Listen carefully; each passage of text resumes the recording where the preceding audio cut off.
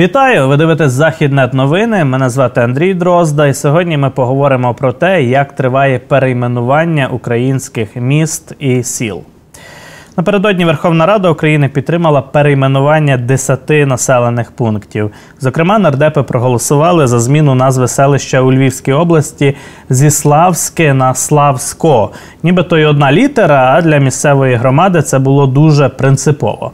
Славсько знане у всій країні як лижний курорт, у якого є усі шанси стати конкурентом Буковеля. Місцеві мешканці хотіли повернути історичну назву уже давно. Ще три роки тому селищна рада проголосувала за перейменування. Далі рішення погодила Львівська обласна рада. А тепер уже і Верховна Рада поставила крапку у цій історії. Ініціаторкою повернення славської історичної назви була донедавна місцева депутатка Наталія Улинець. У родинному архіві вона знайшла документи, яким уже по 200 років, і це допомогло ініціативі з повернення назви селища. Ми е, маємо документи різною мовою, різними мовами, німецькою мовою, польською мовою, українською мовою, так. І в жодному документі до кінця 40-х років я не бачила славське. Якою б мовою не був документ, і який би це не був документ, на всіх мовах бачила Славсько.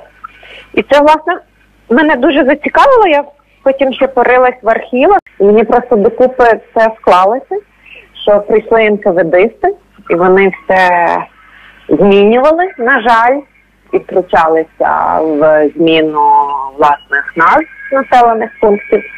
Ну і власне змінили це е, О на Е, тому що було їм зручно російською мовою вимовляти Славська є.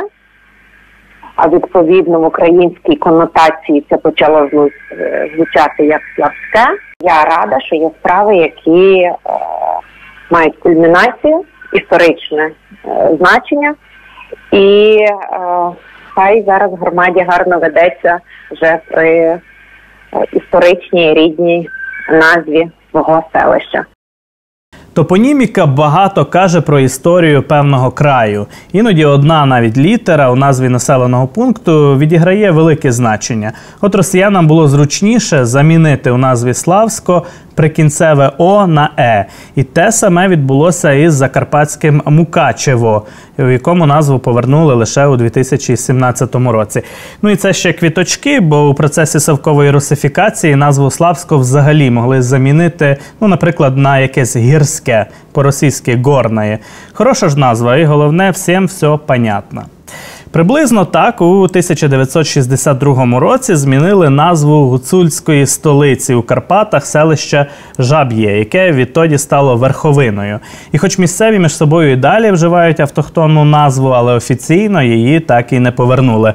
Можливо, це справа найближчого майбутнього. Все ж таки, жаб'є чи жеб'є, як кажуть місцеві, це звучить оригінальніше і цікавіше, ніж назва марки сигарет без фільтру часів Савка. У нас були і протилежні випадки, коли Верховна Рада спочатку перейменовувала населений пункт, ну а потім, через бажання місцевої громади, була змушена повертати радянську назву. І такий казус, до речі, теж відбувся на Львівщині. У 2016 році парламент перейменував село Андріївка у Золочівському районі на Мармузовичі.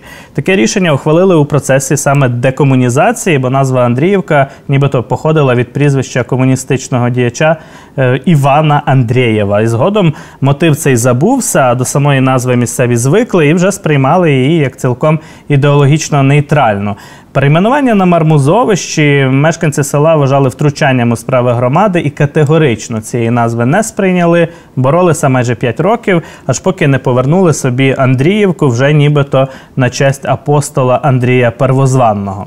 Скільки ми вже е, прожили часу з назвою Мармузовичі, то і десь і я, і десь е, маса односельців, е, і по-іншому не скажу, як де їдеш. Е, Та їду в Андріївку, де їдеш е, на роботу в Андріївку, через, через Андріївку. Тобто е, в побуті. Побуті назва Мармузовичі десь, як на мене, не так десь певною мірою не прижилася, лише е, документально. Як бачимо, перейменування це справа дуже і дуже непроста. І ось тепер Національна комісія зі стандартів державної мови рекомендує розглянути перейменування міста Червоноград, селища міського типу Красне і ще 22 сіл у Львівській області, назви яких не відповідають або нормам української мови, або ж стосуються російської імперської політики. Особлива увага до населених пунктів, які були перейменовані у часи Радянського Союзу. От йдеться про села Червоне Золочівської громади і Переможне Комарнівської громади. Ну а також місто Червоноград. Їхні назви мають замінити повністю, ну а саме повернути історичні. Той же Червоноград від заснування до 1951 року називався Кристинополем. Національна комісія виокремила також назви сіл і міст, які можуть мати стосунок до російської імперської політики. Наприклад, мова йде про такі назви, як Красне, Заводське, Трудове, Трудолюбівка, Красносільці і Красницю. Деякі з них справді типово радянські, однак ті, які походять від прикметника красний у значенні гарний, аж ніяк не суперечать стандартам української мови. І припускаю, що місцеві громади будуть у цьому випадку проти перейменування. Щоб обґрунтувати своє рішення, у них є півроку, інакше народні депутати затвердять нові назви цих населених пунктів.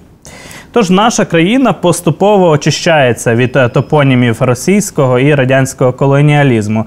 Дебати і конфлікти це невід'ємна частина такого процесу. Але сьогодні у нас вже немає сумнівів, що, скажімо, Кропивницький це значно краще ніж Кіровоград. Ну а горішні плавні це краще ніж Комсомольський, який до останнього, до речі, тоді захищала місцева влада саме цю радянську назву. Однак у такому делікатному процесі, як перейменування, дуже важливо разом із водою метою не вихлюпнути геть і саме немовля. Ви дивилися Західнет новини. До наступних зустрічей.